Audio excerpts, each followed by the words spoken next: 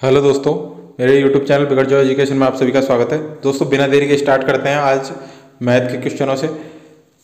तो मैथ का पहला क्वेश्चन है ए तथा बी एक कार्य को क्रम से सात दिन तथा आठ दिनों में समाप्त करते हैं। यदि दोनों एक दिन छोड़कर एक दिन कार्य करें तो कार्य कितने दिन में समाप्त हो जाएगा?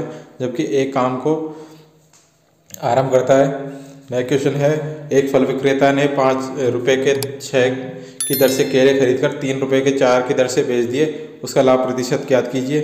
नया क्वेश्चन है, जिसमें आपको बराबर में क्या होगा वो दे रखा है, एक तरफ़ आपको दे रखा है दो सत्यासी इंटू दो सत्यासी प्लस दो सौ उनहत्तर इंटू दो सौ उनहत्तर माइनस दो इंटू दो सौ सत्यासी इंटू दो सौ उनहत्तर बराबर क्या होगा?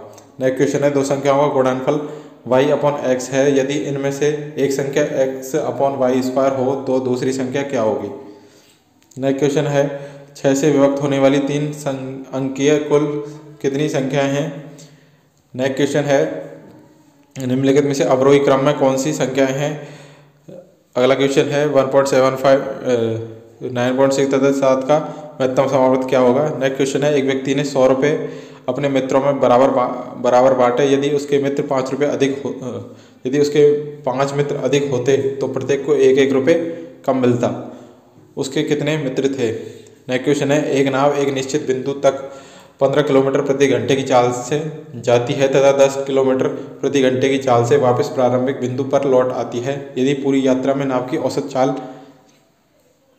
कितनी होगी? आपको औसत चाल बतानी है किलोमीटर पर घंटे में। नेक्स्ट क्वेश्चन है, कमल, कमला का विवाह छः वर्ष पूर्व हुआ।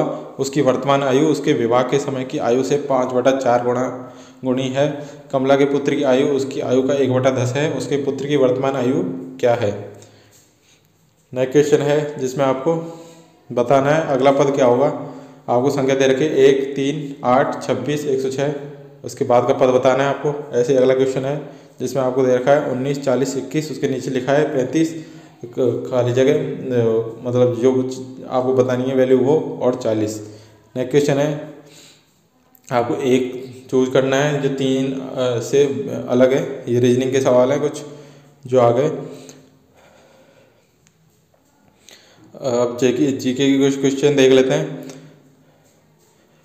जीके क्वेश्चन है, पंद्रह छब्बीस में हरियाणा में किस स्थान पर बाबर और इब्राहिम के बीच प्रसिद्ध युद्ध हुआ। नेक्स्ट क्वेश्चन है आधुनिक हरियाणा राज्य का निर्माण कब किया गया था? नेक्स्ट क्वेश्चन है तिलियर नामक पर्यटन स्थल हरियाणा के किस ज़िले में स्थित है? नेक्स्ट क्वेश्चन है हरियाणा के प्रथम राज्यपाल कौन बनाए गए? नेक्स्ट क्वेश्चन है हरियाणा के किस भाग में? शिवालिंग पर्वत श्रेणियाँ स्थित है। नेक्स्ट क्वेश्चन है हरियाणा को कल कितने प्रशासनिक मंडलों में बांटा गया है? दोस्तों ये क्वेश्चन है और और भी सारे क्वेश्चन है, लेकिन जैसे ही इनके सॉल्यूशन आ जाते हैं, हम सारे क्वेश्चनों के साथ में उनके सॉल्यूशनों के साथ में हम आपको नेक्स्ट वीडियो अपलोड कर देंगे। तो इसके लिए आप हमारे चैनल को सब्सक्राइब कर लीजिए और नोटिफिकेशन बेल को ऑन कर लीजिए, जिससे आपको हर वीडियो का अपडेट टाइम से मिलती रहे। तो आप इन क्वेश्चनों को याद कर लें। आपके एग्ज़ाम में ये जो आगामी एग्ज़ाम है, उनमें इनमें से क्वेश्चन आ सकते हैं। Thank you